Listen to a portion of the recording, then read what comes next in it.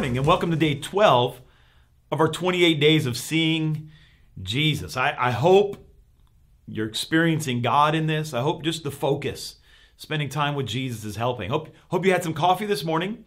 Uh, I, I, hope you've read your scriptures. Today we're going to be in uh, Matthew chapter 12, and uh, Jesus is talking about how our words determine what's inside of us. Also, it determines what we have been focusing on, what we choose to see with our eyes. Our words are so powerful, and Jesus knows this. And he says in verse 37 For by your words you will be justified, and by your words you will be condemned. Now, of course, we understand what the requirements for salvation are, right? So we understand that. We're not, we're not changing that. However, Jesus is making reference to the power that are in our words. There's power in the words that you speak today, both words that build up your life and words that tear down your life.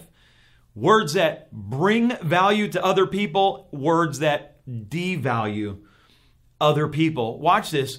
Words that bring your life into what you're called to do, in words that withhold you from what you're called to do. And Jesus says, Listen, I have given you power in your words.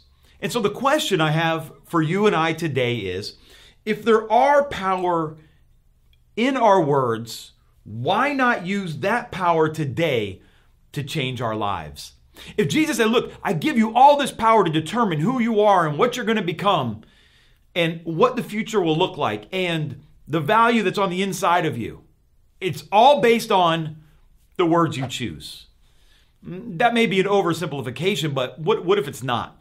What if we really have that kind of power in our words? What are you going to use that power for today? I think today, as soon as this video is over, use your words. Use your words to, do, to declare some things over your life. Use your words to speak some things into the atmosphere regarding your future. Use your words to declare that you are righteous and blessed and holy and favored and a child of God, and that no good thing will be withheld from you, and that blessings are coming to overtake you, and that there is a mansion waiting for you in heaven, and that every place you set your foot today is blessed. Maybe we should use our words a little bit more strategically today to create a world that we want to live in.